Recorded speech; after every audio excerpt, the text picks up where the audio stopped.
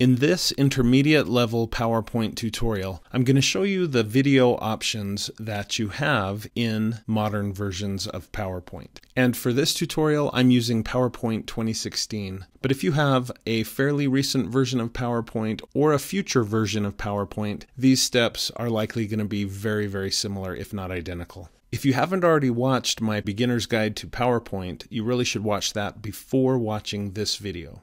So what I have here is the beginnings of a PowerPoint about eclipses, lunar eclipses, solar eclipses, etc. But I'd really like to utilize some video in this presentation. Fortunately, PowerPoint gives us a few different options to choose from. So I'm going to create a new slide just by going up and clicking New Slide, and I get a generic slide that pops up. The first method of adding a video that I want to show you is right here on the screen in front of us. Whenever you add pretty much any of these pre-designed slide layouts, in most cases, you're going to get a rectangle that appears here and it has these little icons here. Well, one of those icons deals with video and it's this one insert video. So if the slide that you're working on in PowerPoint has this icon, just go ahead and click that and that may be the best option for you. And here, PowerPoint gives us three options for adding video. The first is inserting it from a file. And this is a great option. This is perfect for when you already have a video, a video that's on your computer, or maybe you've downloaded one from the internet to your computer, but that video resides now on your actual computer, not just on the internet somewhere, but on your computer.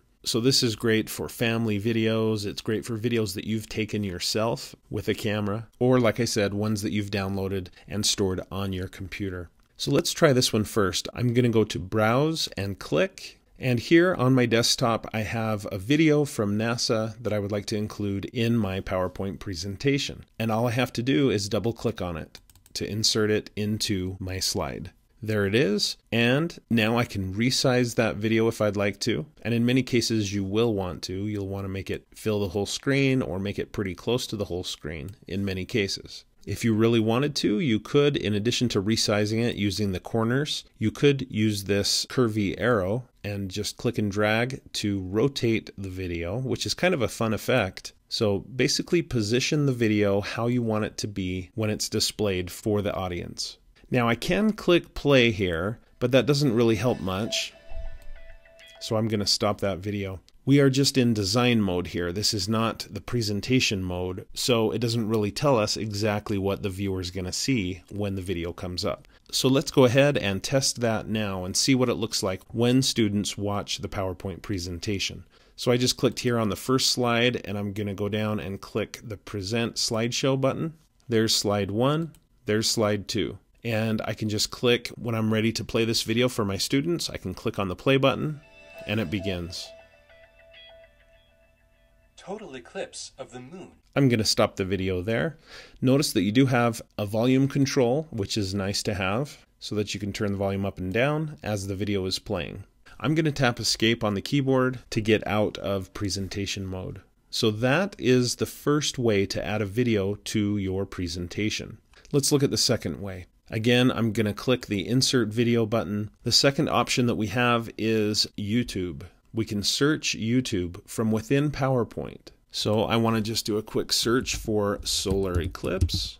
Let's see what it finds. Here's one from BBC One. That looks interesting. So I can click on that, click Insert, and it's embedding basically that YouTube video into my slide. Again, just like before, I can resize the video However, in this case, for some reason, it doesn't look like it lets me rotate the video, but that's okay. So I'm just going to position that video the way I want it to be. And let's test out this second method of adding videos to our PowerPoint presentations.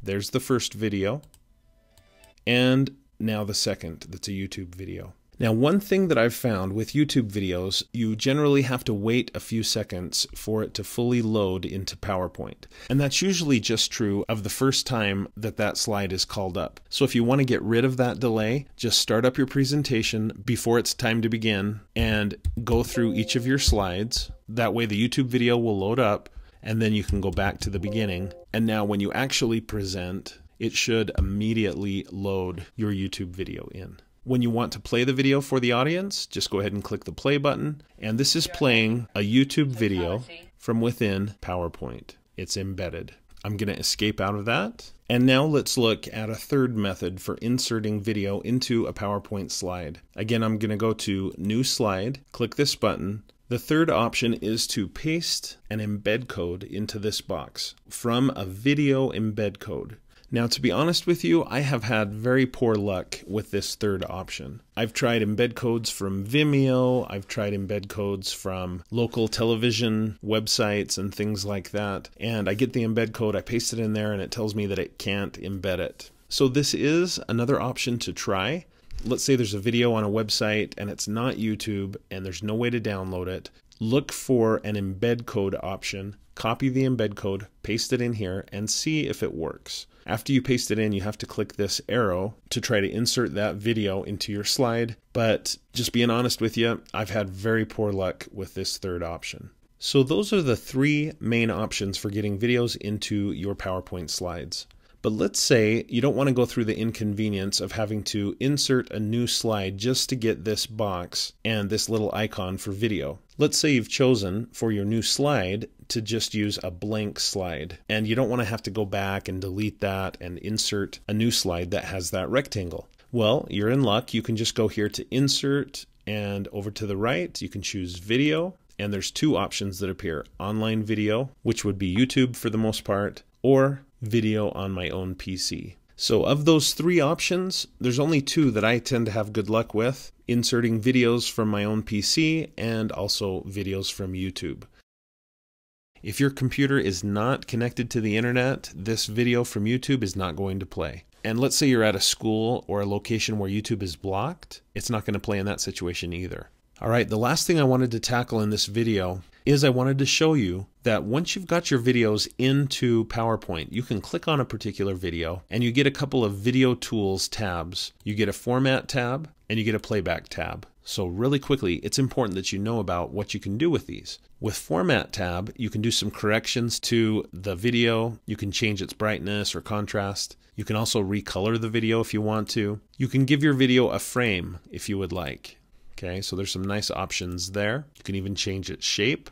And there's shape options over here as well. And video effects. So you can bevel the video if you would like, or do a 3D rotation. So there's some fun options that you can play with. I'm going to undo those. We also have a playback tab, and in the playback tab, these may be the most important options of all when it comes to video. Notice that you can do things like trim the video. You can click there and trim out the beginning of the video where maybe there's a logo or something like that. You can also trim out the end of the video. Just click OK and the trimming happens. You can put a fade in and fade out if you'd like. You can change the volume options. And then this might be the most important part. When do you want the video to play? Do you want it to play when it's clicked? That's what the default is. Or do you want to make it play automatically? When that slide is activated, the video plays. In this case, that's what I want, but you might choose something else. You might also choose to make it play full screen and or to hide while not playing. And there are a few other options that you can look at here. So with me having chosen to make it play full screen and to start automatically, let's see what my slideshow looks like now, at least for this first video. I start it up. It's deja vu all over again for the third time in less than a year. So the video started to play immediately and it played full screen. So those really are all the options that you really need to know about in order to start using videos in your PowerPoint presentations. Thanks for watching this intermediate PowerPoint video tutorial, and please do watch my beginner's guide to using PowerPoint. And I've chosen to follow that up with a series of intermediate videos, and then also eventually I'd like to post some advanced PowerPoint videos. So watch for future intermediate PowerPoint and advanced PowerPoint videos on my channel. If you found this video to be helpful, please click the like button below and consider connecting with me on my social media websites like Facebook, Pinterest, and Twitter. And definitely do subscribe to my YouTube channel for more videos about technology for teachers and students and watch for another video from me at least every Monday.